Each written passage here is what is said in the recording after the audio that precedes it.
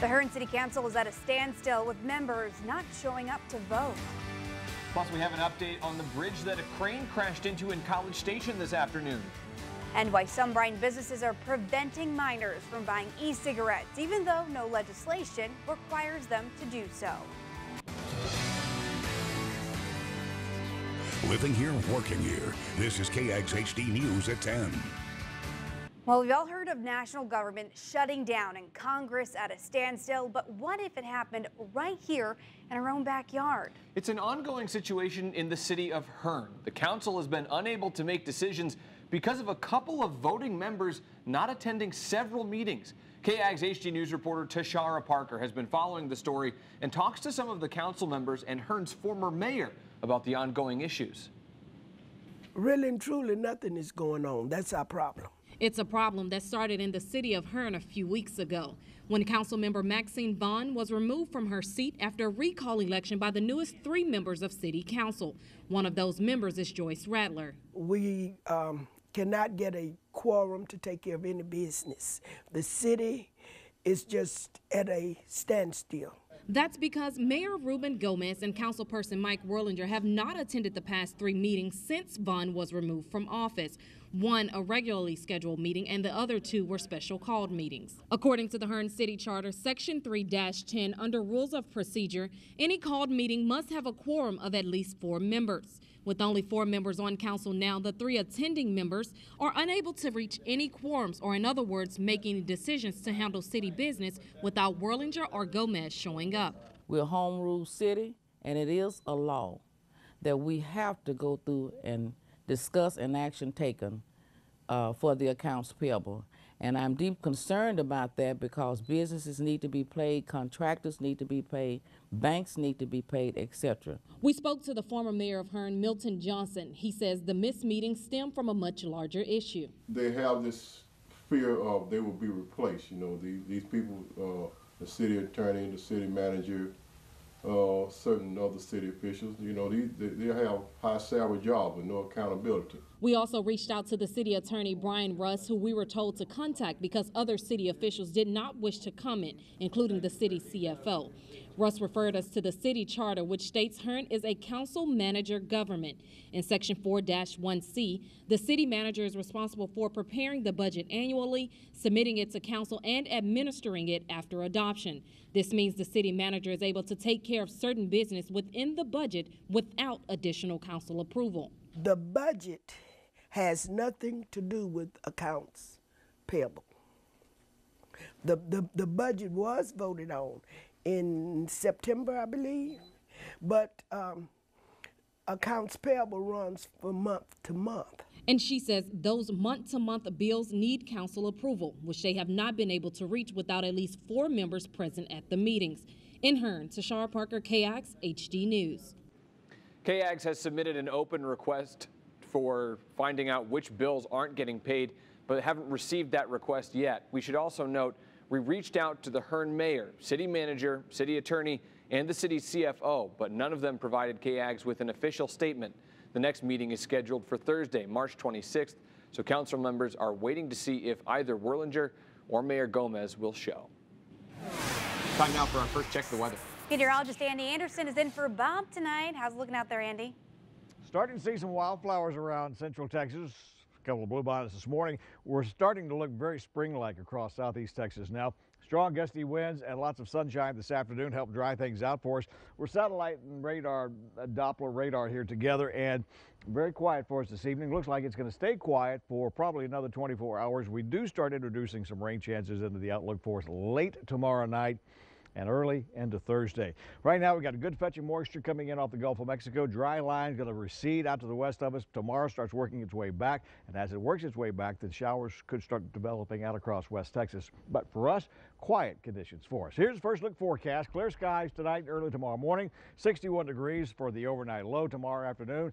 Very windy, but lots of sunshine. High getting up to around 81. Complete details of the forecast coming up a little later in the news. Andy, thank you. Developing news tonight as police identify the man seen in surveillance video from Drew's Exxon on March 17th. Around the same time, Kevin Garcia was beaten and kidnapped. College Station police say investigators are speaking with that person and he is assisting them. Police say tips from the public and media coverage helped identify the man. College Station Police ask anyone with information to call them at 979 764 3600, or you can call Brazos County Crime Stoppers at 979 775 TIPS. And Nathaniel Tillery, the man arrested for kidnapping Kevin Garcia, makes his first court appearance today. Tillery was supposed to choose his lawyer. Instead, he asked Judge Kyle Hawthorne for more time. Tillery has not decided whether to hire his own lawyer or have one appointed to him by the court. The judge gave Tillery 10 days to decide. He will be back in court on April 2nd. And new tonight, Bryan police released surveillance video of an aggravated robbery, and they need the public's help identifying the suspect. Bryan police say this African-American male robbed the Shell station at 890 North Harvey Road Parkway around 420 in the morning on March 11th. Police say the man shows a gun and demands money, then runs away on foot with an undisclosed amount of cash. No employees were hurt and there were no customers at the time. Police say he was wearing a dark colored top and light colored pants. Anyone with information should call Bryan Police at 979 209 5300.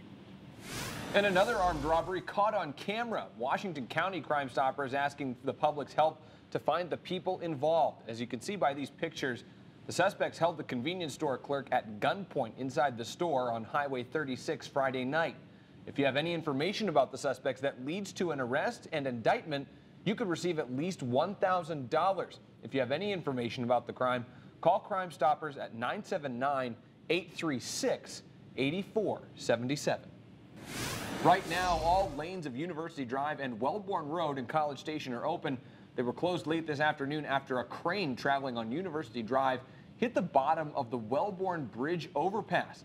That damage forced TxDOT to call in a structural engineer. TxDOT says the northbound outside lane of FM 2154 will remain closed for a couple of days. Well, some Bryan roads will get a facelift in the coming months after the City Council approved almost $2.3 million to be used for capital improvement in the city. Council members tried to decide whether asphalt or concrete was a better solution for fixing the roads. The council decided that based on the mileage and the number of roads to be improved, the asphalt would be more cost effective. The city will hear another proposal in April to fix other roads with concrete. Well, e-cigarettes have become a popular new way to smoke, but the city of College Station made an ordinance that bans minors from buying or smoking e-cigs. Now, Bryan businesses are doing the same without a city ordinance. KAGS HD News reporter Ian Smith shows us why Bryan businesses are taking a stand without legislation in place. With e-cigarettes being a newer alternative to smoking the real thing, Ernie Garcia's doors see a lot of traffic. It's fairly it's fairly busy. I mean, popular. I sell quite a bit. With more flavors than a snow cone stand, it's no wonder e-cigarettes are popular. But at this shop, not everyone can have a taste. I'm not selling to any minors, not letting any minors in. And it's, it's sad to see kids, you know, want to try to fit in with the other people. Of the places we've been to in Bryan, we found one common reason why they won't sell e-cigarettes to minors. And it's simple. They say they're bad for you, and they don't want young people getting hooked. There is so many reasons. The kids, they don't want a kid to start smoke and everything, and it's not good for health. I think it's the right thing to do not to allow kids to smoke. It's, it's bad. It's been proven. So we don't, we don't encourage it. Even though e-cigarettes contain vapor instead of smoke, they do have something in common with the real thing, nicotine, a drug that could get teens hooked. Today they can smoke uh, E, tomorrow they're going to smoke real one. So it's not strong enough, let's buy that one. And with new state laws being considered, laws that would make it illegal for minors to buy or smoke e-cigarettes, Ernie Garcia says things won't change at his store. I just try to abide by the law, so if they say don't sell to minors, we're not going to sell to minors. So for now, businesses in Bryan can sell e-cigarettes to minors. They just choose not to. In Brazos County, Ian Smith, KAGS HD News. Even though minors can purchase e-cigarettes in Bryan, that's not the case in College Station. Violators in College Station will have to pay a fine if they're caught with e-cigarettes. Still to come on KAGS HD News, we'll have a full look at your forecast.